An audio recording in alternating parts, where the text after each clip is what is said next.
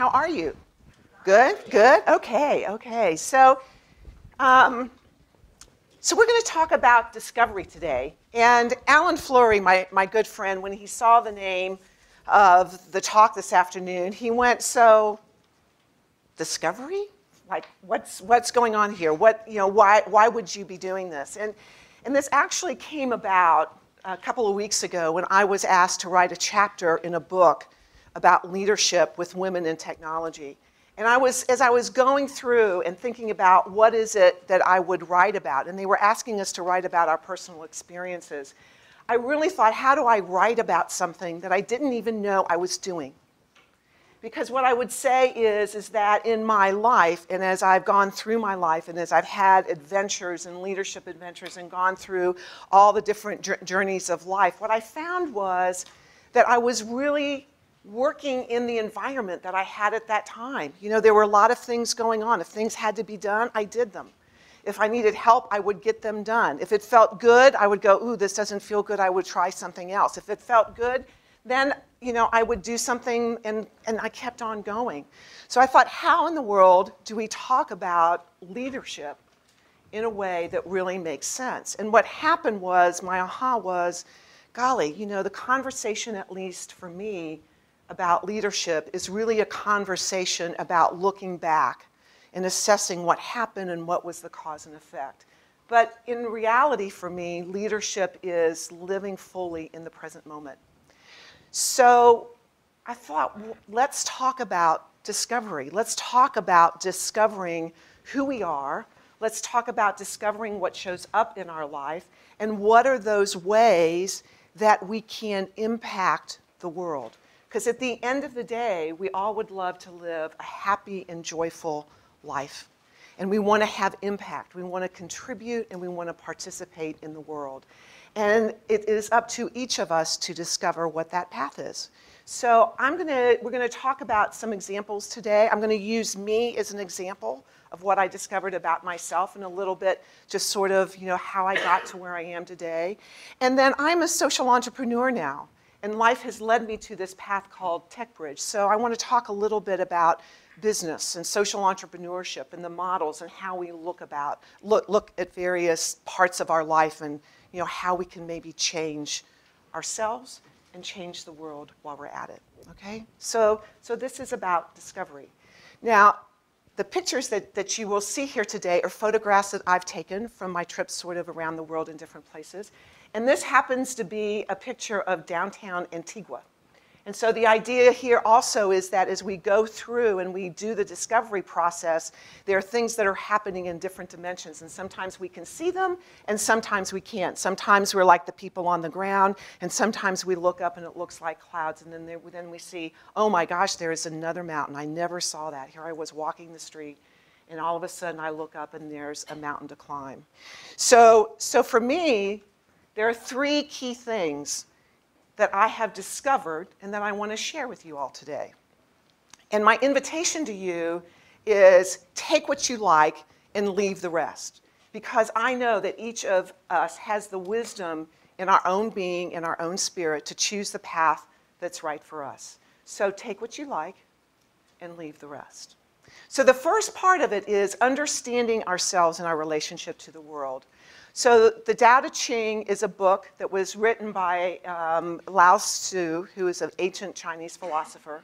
And this is one of my favorite sayings. For those of you in the room who have heard me before, you always know that this appears. So it is a, is a thread in my tapestry. And basically it goes like this. Knowing others is intelligence. Knowing ourself is true wisdom. Managing others is strength. Managing ourselves is true power.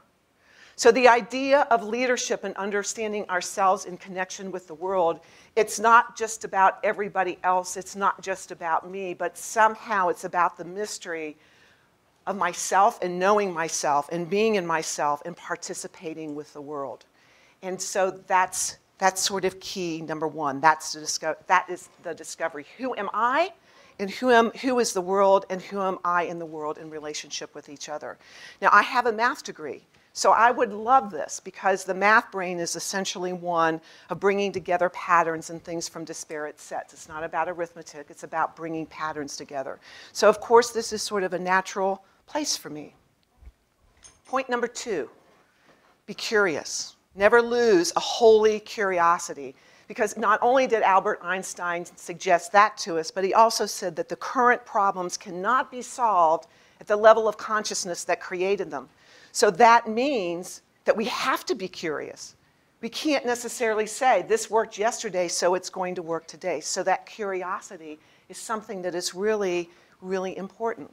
So I'm gonna, we're, we're, gonna have a little exercise here today. We'll get sort of you all moving and, and just play around with this a bit, okay? So I'd like everybody to stand up.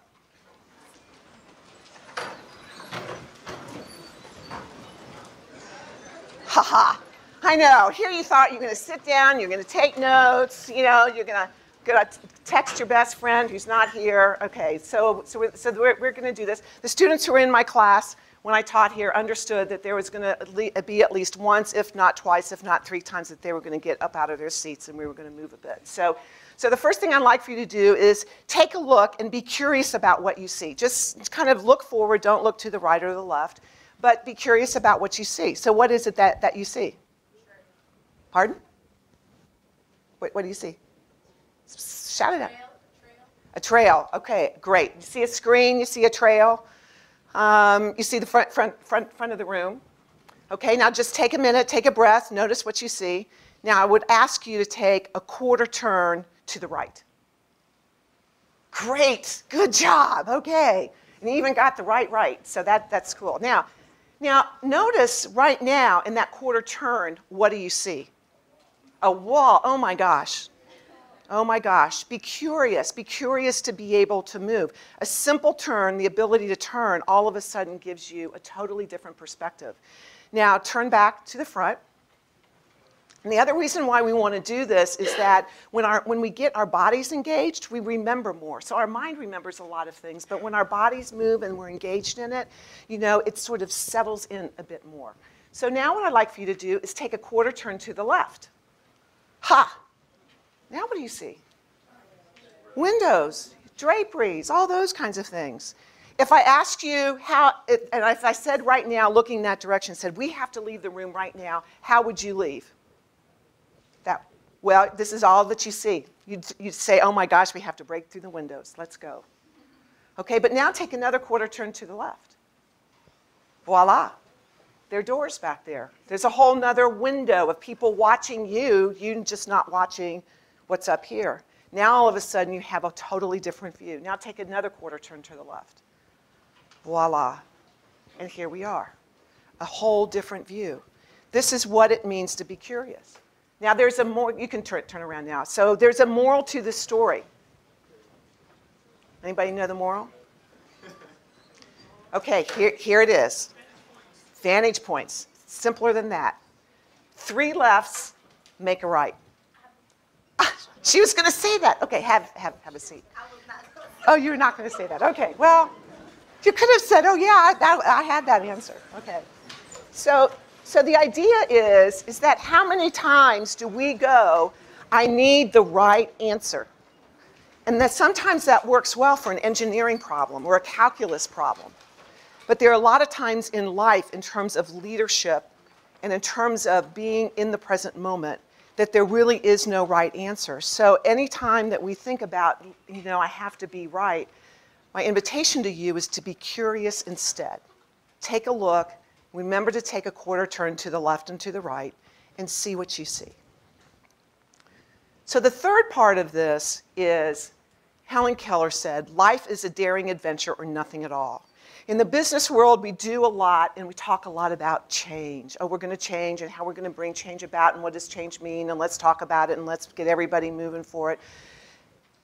But the thing of it is, is that life flows all by itself. There is no moment that is the same as the moment before. And that's what this stream reminds us that the water flows over this one rock one time. So not only is change there, it's that the flow of life is with us all the time. And we see it because the morning comes and the morning goes.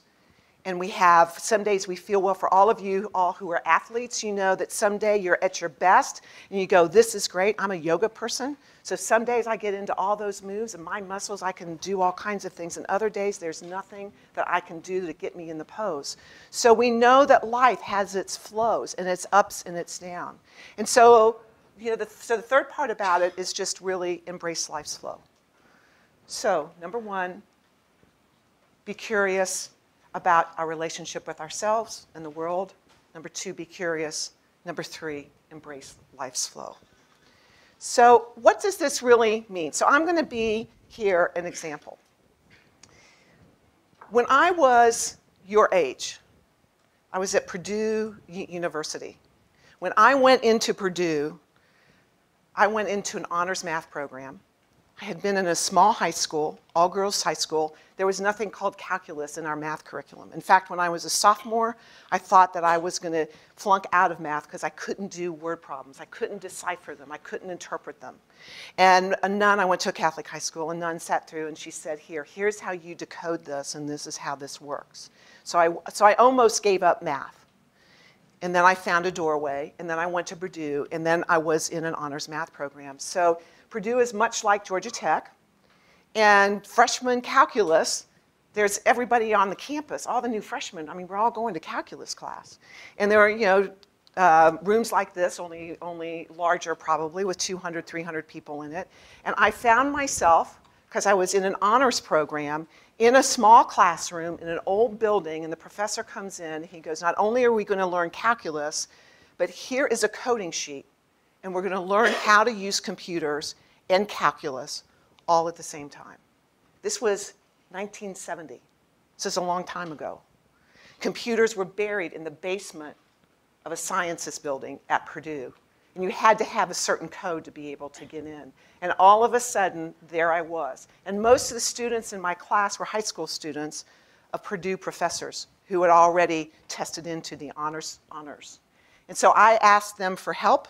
I was the only woman in the class, and that, in and of itself, that day, I began to learn and began to see the benefit of relating technology to something else. And from that day on, I was hooked. So I got, an, I got a minor in operations research. So I studied economics, I studied sociology, I studied engineering. You know, we, I took classes in the business school. The math professors at Purdue said, don't even bother taking a business class or accounting class. And I said, well, why is that? And they go, well, it's just arithmetic in two dimensions. So, so, I, so, you know, it wasn't until I got to be a junior or senior that I said, you know, maybe I ought to get an accounting class and understand really, really how this, this works.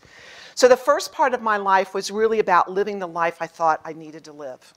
And so I got out of school. No one was hiring Phi Beta Kappa honors highest honors graduate Purdue Math in 1970, except for technology companies. So that door opened and I walked in. And I've been there ever since. And so what happened was I started working in technology companies, we started programming things, and all of a sudden I found myself on every single new project that came along. So I helped create the first ATM systems, the first bank card systems, we did something called computer capacity management, where we figured out how computers worked. We started working with hardware and software monitors and did all kinds of cool things. And then I went to Peat Marwick in New York. I was actually had worked for a bank in Louisville, Kentucky, and then went to Peat Marwick in New York, where we said, how do we make this even bigger than just one? So we started saying, okay, banks, technology, how do we relate that?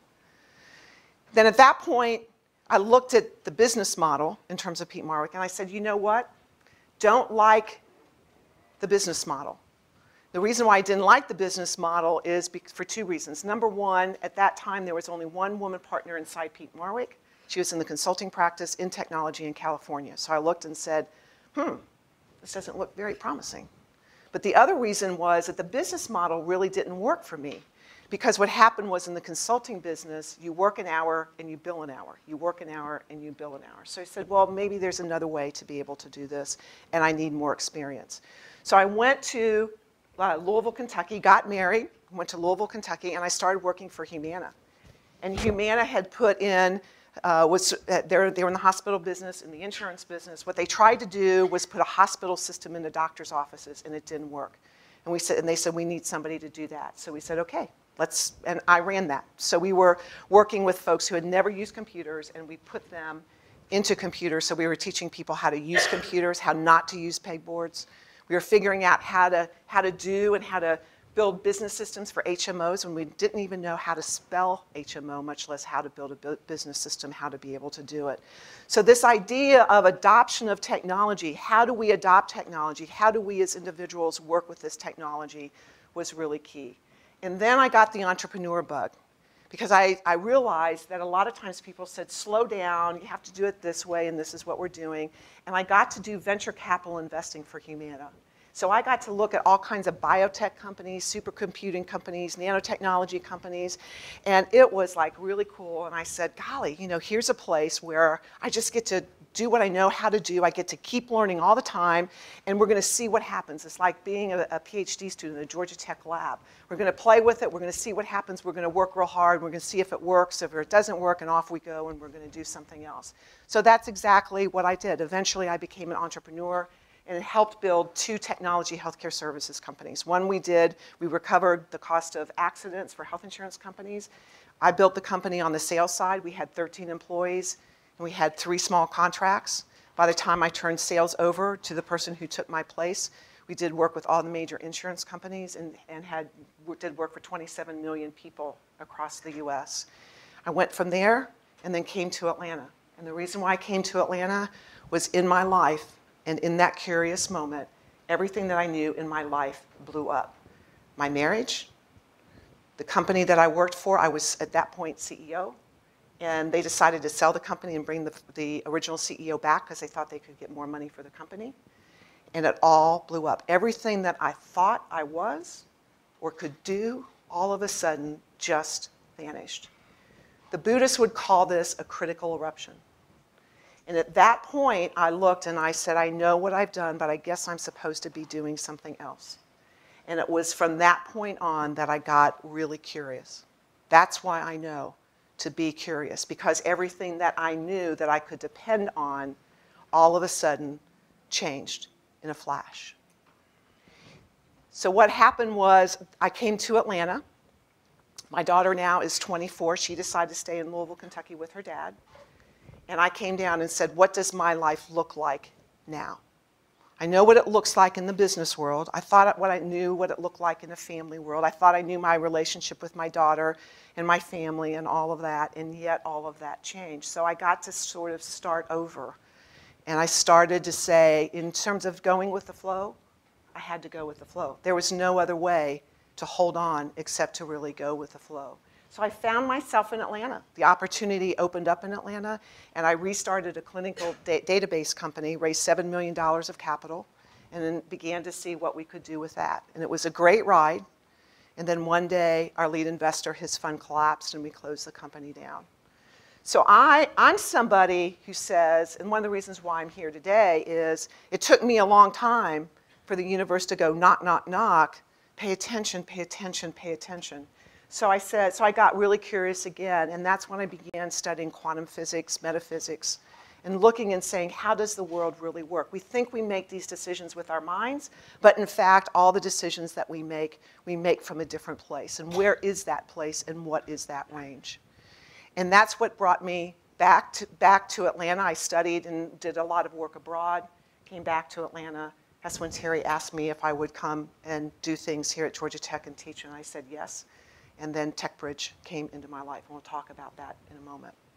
So this idea of life and coming into itself. So right now, when you look at Kathleen Kurre, what you really see is you see a person who's made a conscious decision to live my life fully and to have everything in my life intersected. So when young people ask me about balance, I say, is it balance that you really want or is it to be happy?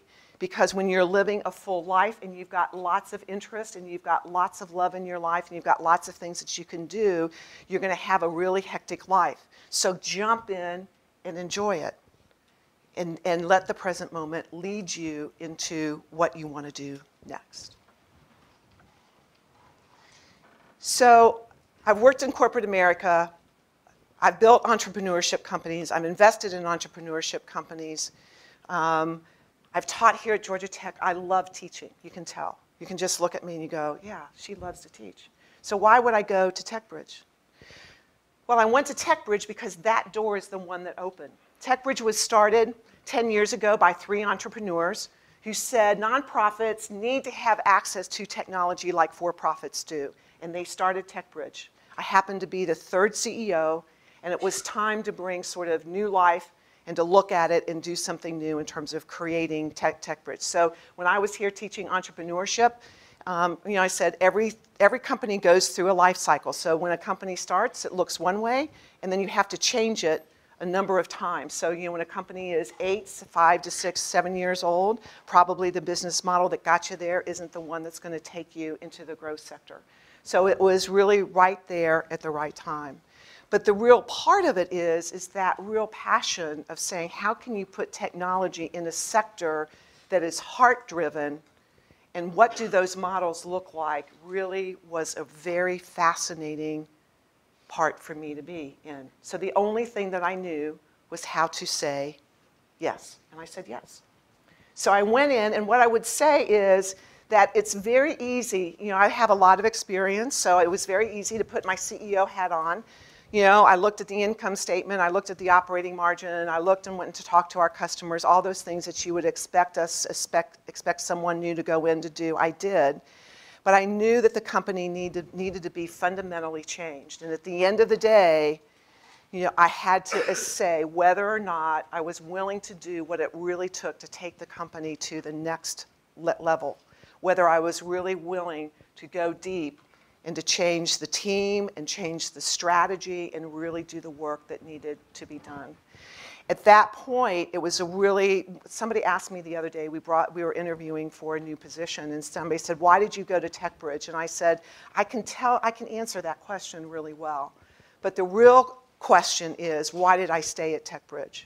So when we go and we, we say yes, and we find a place to lead, and we find a place to contribute, we see it and it all looks really nice and we say, okay, this is a challenge, and then we get in and we say, well, it doesn't quite look what I thought. It's a lot harder work than I thought. How am I going to do this? Look at all these things that I thought I knew how to do. I'm not sure I know how to do that in this environment. I did it in this, the other environment, but I'm not sure I know how to do that here now. And there's this wonderful book that is written by a poet by the name of David Whyte, W-H-Y-T-E, and it's called The Heart Aroused. And basically, he's written books about coming to, to, coming to face with yourself in the business world when you know that you can't really control anything and when you just get to do what you know how to do. And it's like, for those of you who love reading literature, it's like reading the Odyssey, it's like reading Beowulf, and it's like being able to say, am I going to continue and where is this going to happen? So within the first 45 days at TechBridge, I had to let five people go, we had to go talk to customers. We had to do a lot of things. Plus, we had to figure out who we were in the next stage of our life. So what is it that we learned? So I'd like to talk a little bit about social entrepreneurship, and I'd like to talk about biz business models.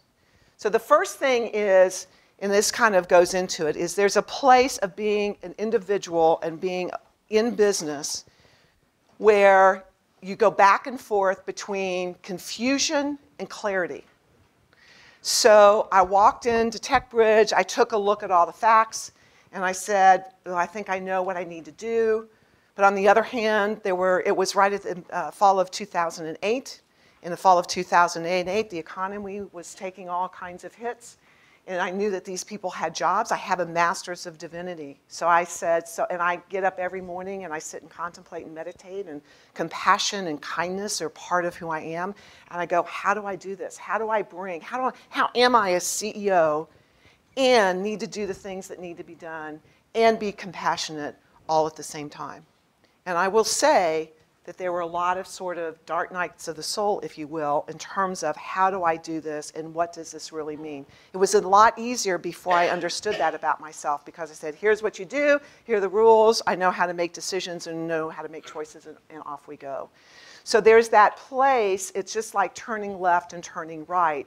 when it's not clear, it's not clear. And then, and then there's a moment where you go, I know that I have to do this. And I will say the day that I walked in and knew that I needed to let five people go, I was going to affect five people's families, I walked through the door of TechBridge and said, I wish I could just turn around and walk away. Because that was a really hard thing to do. But it had to be done. And it was a good thing to do. But it was still, just because I was still clear on what that direction meant, uh, what that direction needed to be, it didn't make it any easier to actually do. And I had all the input. I got our board involved. We ran the numbers. We did all kinds of things. You know, all of all of the HR stuff, all of the dot. You know, everything was done the way it needed to be. But still, I still had to go in and do that and understand why I did it and what the value of the company was. And basically, one of the reasons why that happened was in that role, I said, we've got, TechBridge is the IT department for 40 nonprofits here. So Points of Light Institute, you walk into the Atlanta History Center, we take care of the technology. Gateway 24-7, homeless shelter, technology. They get on the internet because TechBridge is there.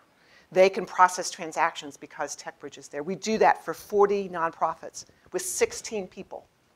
We also host 90 websites and we host emails, and we're putting in transformative technology into nonprofits. So I said, if I don't do this, and if we can't be the company that we came here to be, what happens to the community? What happens to the other employees that, that are here? And so those are the kinds of decisions in the way that we said this is what needs to happen. But confusion and clarity sort of sit side by side. Organizations and cultures. So I have a flip chart here. And um, one of the things that was really difficult, difficult because I did take a break from the business world for about um, five, five, years as I was getting my divinity degree. I have a company called Fusion Advisors, which I worked and do a lot, did a lot of consulting. So one of the things I sort of played around with, and particularly when I went to TechBridge, is, is everybody wanted sort of an organization chart. You know, what does this chart look like? And, I, and so the board's here, and you've got different people, and they report to people and all that kind of stuff. And people would walk into my office and they go, Well, you're the CEO. What do you want to do about it? And I would say, Well, what do you want to do about it? And everybody looked at me like, You know, you're supposed to know, you're supposed to be in charge, make a decision, you're the leader. But I looked at them and I said, But I can't do what you do. And I started looking at the organization chart and I said, Well, there's a problem here because in classic hierarchy organization charts, none of these boxes talk to each other. Everybody sits in their little silo. So who is it that really takes care of the company in terms of how it works? So, so what I did one day is I said, we're going to have a new organization chart. And it is going to look like a mandala, which is basically, if you think about a rose and petals on the rose. And the idea of our culture and how we're going to run this is that we're all going to get really clear on what we're here to do and why we're here to get that done. And we're going to make it really clear that we're all petals. So for me personally, what I say to our team, I'm just another petal on the mandala, just another petal. I bring my own capabilities, my own expertise, and I'm going to contribute that to the community just like you do. So when we move the culture from who is it that makes all the decisions, not my problem because this is my box, to a culture that goes, wait a minute, the health of our community relies on me. It relies on me. And that's what we started doing with our team. When you go out to a, to a client, rather than just fixing what's broken for a computer, because we take care of a whole bunch of different kinds of technology, Rather than fixing just what's broken, ask this question Is it going to work when I leave? And how do we make that work? Because if I don't make that work for the nonprofit when I leave, they're not going to have technology, and that person's not going to be able to find a room tonight to stay in if they're homeless, if our technology doesn't work. So that was so that culture and that basic part of that organization of moving it to a new paradigm is really important. So that first the team didn't really get it. They just said, I just want to do what I'm doing. But then eventually they got it, and we've got other people who are, you know, who come in and they sort of, sort of get it. So when people come into TechBridge, we draw a mandala and say, this is our or, or organization chart, and this is how we work, and this is what we do, because everybody adds value, and everybody allows us to be health, healthy. Now, one of the other parts of the aha in terms of the org organizations and cultures is, and I had this, this other kind of thing, is that in terms of Kathleen and in terms of what the organization needed, there were a lot of times when I say, can I bring the right blend of skills that the organization needs and what does an organization need? So there's some work that's done based upon the Myers-Briggs and personality styles, which says that we all have a unique way in which we address, in which we participate in organizations. There's those of us who inspire organizations. There's those of us who run organizations. There's those of us who are in service to organizations. And there's those of us who design organizations. And in order for companies and businesses to really succeed, we need all of these to happen. And we need to have people who serve them and inspire them and run them and all that. And one of the big ahas for me personally was that I am naturally an inspirer. But I have a job as a CEO, which means that my job has some inspire in it. But particularly for the first 18 months of TechBridge, I had, I had a lot of inspiring to do, but every day I also had to figure out how to run the business. So you're looking at the payroll clerk, the benefits clerk, you're looking at the budget analyst, the financial analyst. You know, that's, that's me in my roles because in order for that company to run, those are the kinds of things that, that have to get done. And so what happens is, is for all of us, as we think about what our life path is, where are we here and how do we really want to serve? And the aha for me one day was, oh my gosh, rather than saying on the days when I was having to do all the, the running and all the administrative work, I was functioning as a chief administrative officer, and I really wanted to do that. My aha to bring this into wholeness was I have just expanded my range. So not only can I inspire, but I can run the, the organization and whatever need is needed at the moment, I can do. And so what happened was I was able to find basically my own mandala in terms of being able to connect those parts of me that heretofore I wasn't really sure. Because in my early career, I ran things. People told me I inspired them as well, but I was there to run things. In the middle part, as I was looking at this, I was, you know, my job and getting a divinity degree is you're inspiring people. So now I'm back as a CEO, and for my own personal journey, I found that, and I found it connected. So organizational cultures and how we run them. I believe that your generation is the generation that is going to move us into mandalas in terms of how we organize ourselves and how we contribute to community. The uniqueness is one that's really important in the nonprofit sector because there a lot of, there's a lot of conversation in the industry about how nonprofits should run like business. I would say a lot of times there are a lot of businesses that don't run very well. We've just gone through a period of seeing that act actually happen. So, so the idea is why should anybody run like somebody else? We should run like we are. So it's like um, in the medical business for so many years, uh, women were treated and heart attacks were treated in women like they were treated in men.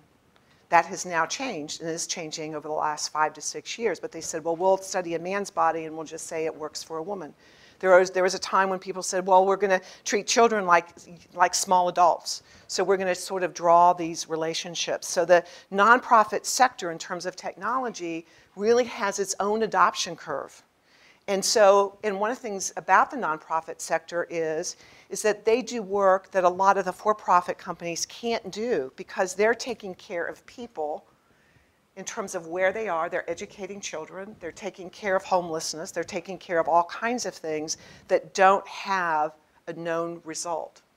So it's a very important sector about how we not only take care and how we consider our community to be, but also the work to be done. So once you, you know, when you take a look, um, uh, Margaret Wheatley wrote a book called Leadership and the New Science, and one of the things that she talks about is that leadership a lot of times is built like the old industrial model, which is if you do this and that's going to happen. So we'll get so that, that idea of uniqueness in that in the mandala is that not that nonprofits have to work like a business, but they have to work for what the work that they're here. So this morning I gave a talk to 70 technology folks from a national large nonprofit, and we were talking about particular technology called SharePoint. It's Microsoft technology. And they said, well, we built a SharePoint portal, but the people who are taking care of you know, the homeless people and our missions and all that, they don't want to use SharePoint. So, you know, they don't want to adopt technology. And I said, well, then the technology doesn't work for them. So let's go and let's ask people what they need the technology to do, how it would help them in the work that they do, and let's start from there. And that was actually one of the things that we did in the clinical database co company when we were doing work for doctors. We said, let's solve their problem, not our problem. So we turned the, so we turned the whole question on its head. And so we said the business problem we solved there was if you're a cardiologist and you're in a 10 physician group, you get a call at 2 o'clock in the morning, 90% of the time you're not going to know who that person is. And you're not going to have seen them. Person's in the hospital having a heart attack. You're getting called. You don't know who that person is. So we said, we're going to put some data and we're going to give you access to data at home. What do you need? And the doctor said, we need two things allergies and meds. Because we're going to prescribe a drug until give us time to get to the hospital to do more work, and we're, we're going to direct the ER team on the way. So we had this whole group of PhDs, everybody's talking about we need this data, we need that data, all those kinds of things. And that ability to say the uniqueness of the sector and what is the physician's job is to help that person who is sick. So let's get the data there. So the idea of technology and nonprofits is actually of leadership, is being able to say what is that uniqueness that we're really trying to address. So what is success if you're a social entrepreneur? Jim Collins said it really, really well. He wrote the book Good to Great, and he's got an appendium for nonprofits. Muhammad Yunus said it well when he was here at the first part of the semester, which is when you're in the for profit business, money is an input and an output. Okay? Money is an input and an output. If you're in the for profit business, you get rated based upon return on investment, share price, all of those kinds of things that are measured by a financial statement.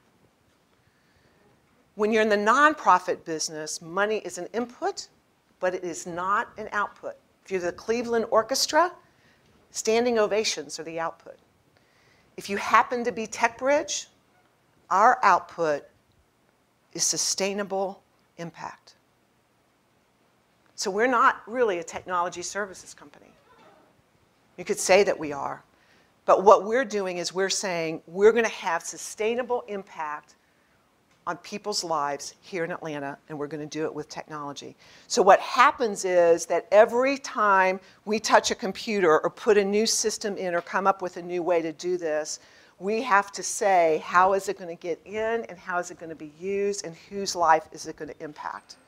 And it makes for a whole different conversation when you say what is the measure of success and how does that really work it then feeds into the business model. So when I was building technology companies, you talk to a technology entrepreneur, they're going to talk to you intellectual property, intellectual property, intellectual property. I'm going to build it, I'm going to own it, and I'm going to protect it.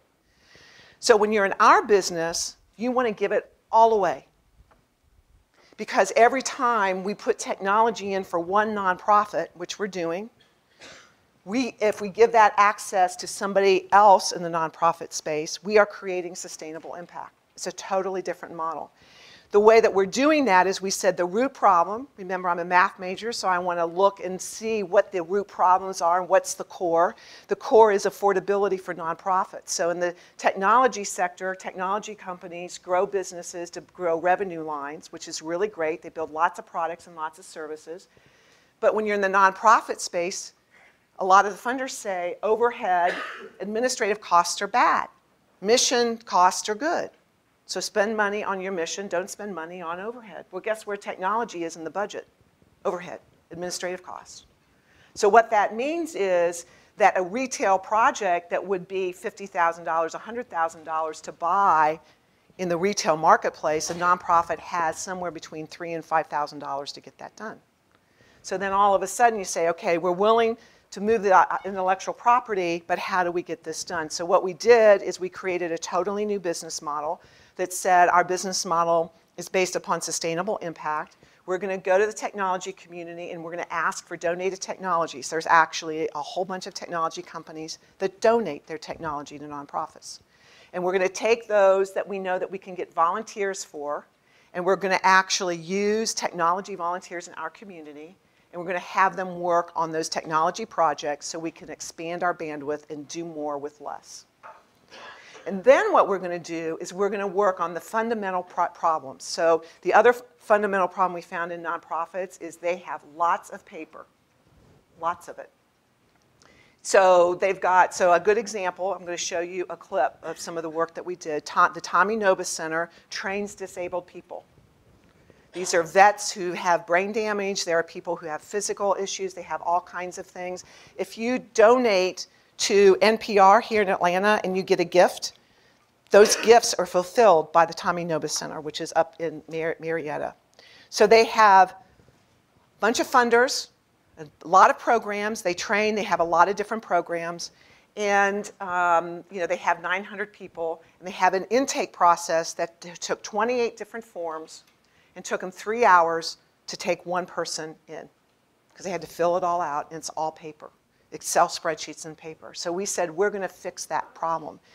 And Accenture is a sponsor of ours, and they give us, and they give a Technology Innovation Award. So Tommy Nobis won this Technology Innovation Award. So for $25,000, 2,000 volunteer hours, two robust donated technology platforms, we built a client intake system that the day it was put in saved an hour and a half out of those three hours. And now the intake process is down to an hour, plus they have all this information.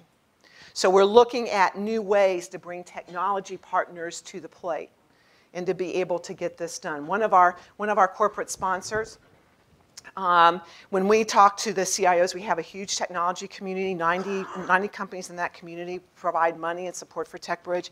When we showed them our business model, some of the for-profit CIOs said, we'd go broke if we had to pay what you pay, because the big companies don't pay what we pay or what the nonprofits pay. So they understood the donated technology and the volunteers and things like that.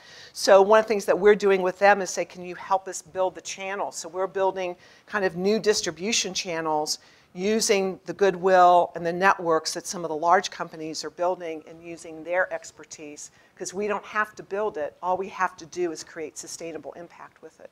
So it's, so it's, you know, it's, a, it's very exciting, but we've had to say, in terms of the business models, what are the kinds of things that we're willing to let go, and how are we going to build this in a very different way? So in the last two years, um, outside of letting, letting the first five people go, we've had some turnover at TechBridge, but over the last nine months, we've added significant clients. Um, we've created this platform called Transformative Services to get the, to get the paper out. I'll show you a clip about that. Um, you know, we've got companies here in Atlanta who donate our data center space. And like I said, last year we used um, 9,000 volunteer hours. So a good example is we, one of our clients had a sticky pro problem with wireless. They're in a big old building and nobody could fix the wireless. So we called one of our sponsors and they said, we'll get somebody who knows wireless. They got him there that day. They, they diagnosed it, they fixed it, and they were up and going.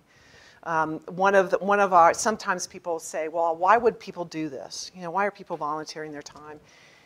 And one of our one of our volunteers said it the best. He said, "Have you ever gone up to somebody who loves technology and you've got a problem and they go, "Forget it, I'm not going to help."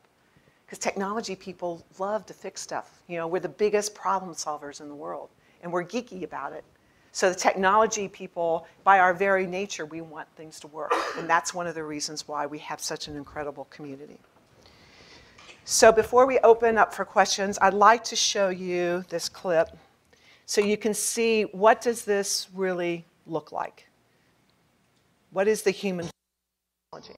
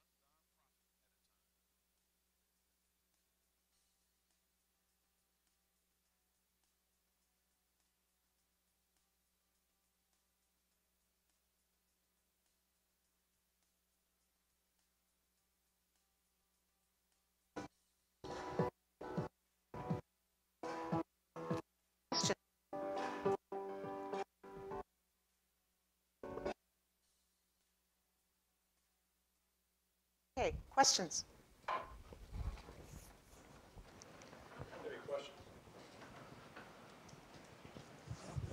Here we go.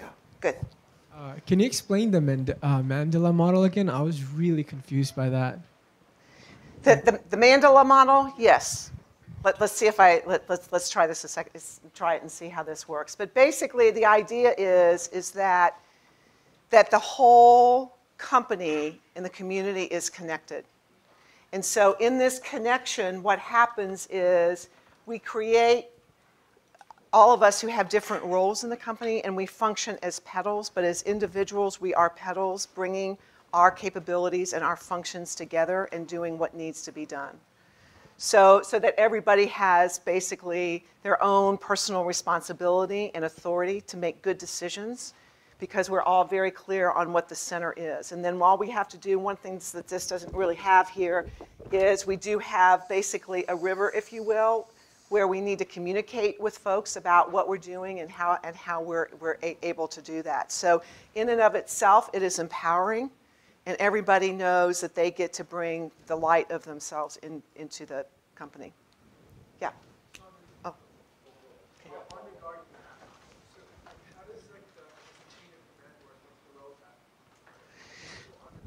So, yeah, so, so what happens is that that's a, that's a really good question. There are certain things that still have to be done. So this does have to sit side by side to being able to say, basically you have to, have to create a structure that says everybody knows what decisions they can make by themselves, what decisions they need to let somebody else know about, and what decisions they have to have final, that they have to get approval on.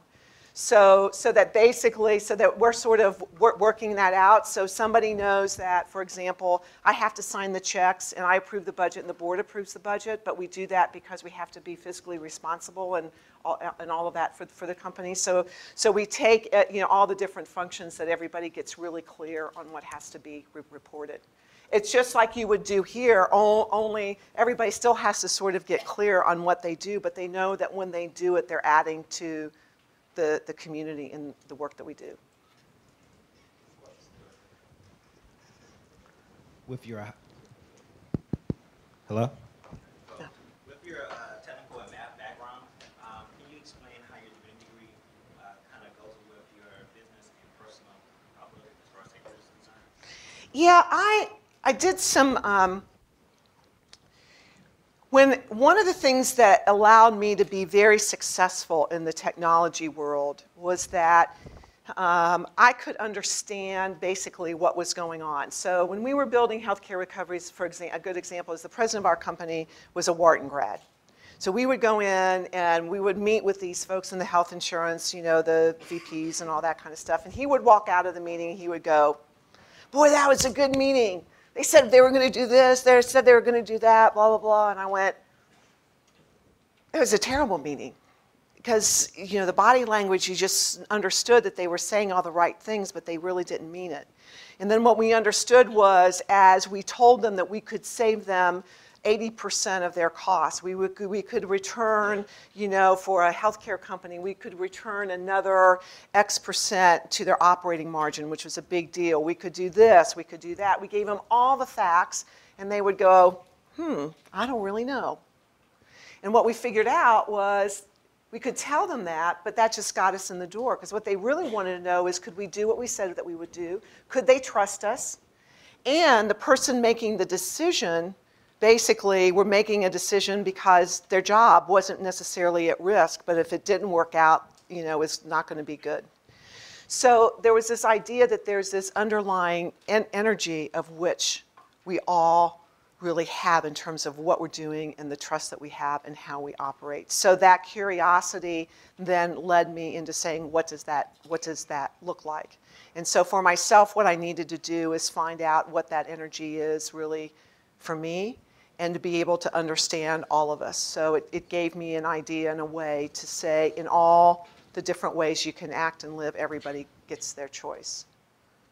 So, you know, it's basically living, the technology world allowed me to live in the seen world, and the divinity degree allowed me to live in a world that's pretty much unseen. But the idea is, is that we all know love, we all know trust, We all know when we feel good, we all feel the love of our, our families, and somehow I needed a framework and a paradigm to be able to put that all together, which is what that did for me.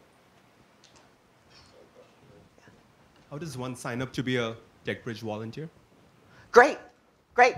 Uh, give me your, your name and uh, we'll- put you to work.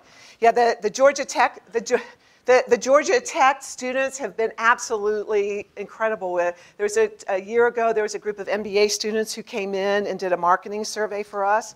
We don't have a marketing department. We don't have, we don't have an accounting department. Our CFO is part-time volunteer. He's a retired Deloitte partner. So we have all this stuff. Um, you know, we have a help desk and a knowledge center. So, um, so we've used Georgia Tech to help us with the accounting. Uh, we had a Georgia Tech intern this summer who was, a, who was in one of Alan's classes. So um, yeah, gi- give me your name and we'll put you to work. Yeah. Oh, oh, was it that, that, that was, that was before me. BK, before Kathleen. Okay. You guys decide um, who's going to benefit next. What, uh, which nonprofit do they come to? They apply to you, or do you seek them out, or is it vice? Is it a mixture of all that, or? It's a mixture. Yeah, um, most nonprofits, the thing about the nonprofit business is most nonprofits have more demand that they can handle. And so our revenue line, we actually get paid by our nonprofits. So the first part of it is, is that we do get paid for the work that we do, but it's just not the full cost of it. Um, and so one of the things about technology is the nonprofits have to be able to pay something, which they usually can, but they really also have to be able to want to use the technology and to be able to be ready to, to move the business model. So a lot of the nonprofits have volunteers, you know, who do it. Um, so basically, any nonprofit who wants our service will, you know, sit with them and develop and see what they need. We'll give them a proposal, um, and then we just kind of see who's who's able to come on and who's willing to come on in terms of being able to bring them on. But the nice thing about it, the good and bad news about being a nonprofit is, um, with that, is that you know our working capital. When you look at a traditional model, we have limited working capital, and we don't have the capital markets really to go to. So, so what we have to do, so we're not really a growth business. So that quest, so that question is every day: How much do we charge? How much margin do we make? You know, how fast can, can we grow in terms of being able to use our capital wisely and stay in business and take care of the clients that we have? Yes, yes. So, so we actually have, we just, this week's, uh, we had hired a new salesperson. Um, we didn't have a salesperson for a while just because we didn't know exactly what we wanted to do with that. So yeah, you, you still need somebody, and it's kind of a salesperson, but really you need somebody to sit down and, you know, look at the technology and say, what do you have and how old are your computers and what do you need and how much are you spending? So, so our technology assessments, we get paid a little bit for that, but you know, we do a lot of consulting trying to figure out what works best for you. And our job is whether or not they come to us or go to somebody else, we know that we're helping them because that's part of the, the mission as well. So we're one of those, so when a client goes to somebody else, we, you know, we'd like to have them come in the TechBridge family, but we're really happy that we help them make a good decision for themselves. Ah, hey, Michael. What about yourself enables you to be an effective leader in the nonprofit space? What about myself? Uh, Um,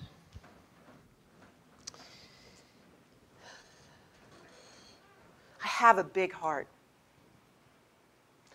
And uh, my brain has been well trained. So I know a lot about kind of what the options are. And I think one of the things is, is that I learned a lot of humility when I came to TechBridge because for everything that I've done, and you know, you could say in some of my life I've been a master of the universe, I had to leave that at the door. Because what I had to do is say, what is it and what do what do the nonprofits need? And probably the biggest teacher for me with that has been being a parent and raising a daughter. Because what I knew was that when you have a child, and being a mom, every single mom wants the best that they can for their children. Whether they can do it or not is a different story. So that heart and my ability to know that there's a way to make, to have access and make this a better place is leading with my heart with humility. And then I've just had enough experience and I'm like stubborn and bullheaded and I push through. So uh, it's probably those three things. The good news and bad news is I'm stubborn and push through. Um, I'm the last question Okay. for, uh, Uh-oh. for the I, knew, I knew she was going to ask me a question. It, it, it's not. It's it's not a hard one. Uh, but you came into TechBridge when it was about eight years old, and it was already established as a 501c3 nonprofit company. Correct. Uh, in ter- if you were setting up the uh, business plan now, would you do it as a nonprofit uh, or a for-profit, or not even to put you on the spot, uh, you know, on video? Um, what uh, what are the benefits and the uh, to to being nonprofit, and also the barriers uh, to serving by being nonprofit, and how would the world perhaps be better served or worse served if you were for-profit? You know, one of the big, big pluses about being a nonprofit is that it allows the technology community to participate with us in a way that they would not otherwise if we are for profit. So when we talk to the technology community, we say we, you know, we need your dollars to support us because we need to pay our people and pay the bills. But what we really need is we need access to your technology and to your people. And we believe that giving and passioning technology people to share their technology with the community is so overwhelmingly positive for the community as a whole. Because technology people are, can go build habitat houses, they can clean up parks, but when you say to a technology person, you know SharePoint, I've got the SharePoint project for you, and they go, oh my gosh, I can use this talent, I can get it done, and I get paid in hugs, and I get paid in smiles. It is really incredible. So being a nonprofit really allows us to be able to get that done. And so we're building community in the technology community that nobody else has been able to do because we actually, on projects, the Tommy Nobis pro- project, we had competitors in the technology space working together on a project to be able to get that done. And so it's really an incredible way to have a conversation with folks and kind of raise their awareness and their consciousness. Now, the part of not being a nonprofit, if I think for this space, it's important to be a nonprofit because what I would say is if we were building this as a for profit technology company, we would not have the clients that we have. So, because of the affordability and the ability to pay. So, there are a lot of technology companies who are working in the nonprofit space. In fact, the first time I did a Google search and search for technology services for nonprofits, I got 77 million hits. Second time, I got 123 million hits, technology services for nonprofits. So now it's not quite as many, but Google has changed in their search criteria. So, so what happens is, is that a lot of for-profit companies are coming at this space, but they're coming at it with a for-profit business model. So I think being a nonprofit also gives us the freedom to create and gives us the freedom to get the best of the best and create a business model that, re- that really works. Because basically, you know, we have to figure out how to get really expensive technology into nonprofits for just a small amount. And in fact, one of my, um, there, there were two models that I took with me into TechBridge that I found when I was on the faculty at Georgia Tech. And the one, one of the models was how do you build infrastructure projects in developing countries? And what happens is if you needed to get water to a village in a, in a developing country where there was no water, you would get grant money to build the plant, and then you would make it so it was operation, operating sustainably that the villagers could afford to pay for the money and to pay for that water to come the last mile to their house. So when you look at our transformative services, that's actually the business model, which is when we make technology affordable and bring donated technology together with volunteers with some new methodologies, then in fact that's what we're doing. We're building the plant and we're making it affordable so that we can make it sustainable. So, so we actually took that business model that's not used at all in the for-profit space. The other business model that we used was the idea that's done in the microfinance world, which is the key to microfinance and its success, in my opinion, which is the circles of women sitting around in collaboration groups helping each other solve the problem. So, a lot of times in technology, because we say, oh, here's the problem and we know how to fix it, the problem isn't really addressed and people don't know how they want to fix it in the nonprofits. So we took that collaboration model and said once we put nonprofits together and they're collaborating with it, we're going to take that model, we're going to put it in the technology space so that we can get really smart people around the table sharing what they know, and then we're going to be able to move that out. So, so I, I would say, you know, for this business being a nonprofit has given us many degrees of freedom to go and experiment. Um, and it's, you know, I've also been involved in, a, in private companies and in pub, public companies. And, you know, when you're in a private company, um, you do have more, more bandwidth to go and have freedom to create because you don't have to report to the market. And that, that's a really good thing. And I like freedom, so I like the freedom to be able to create. And this, this has a lot of freedom in it. So, okay, thank you. Thank you.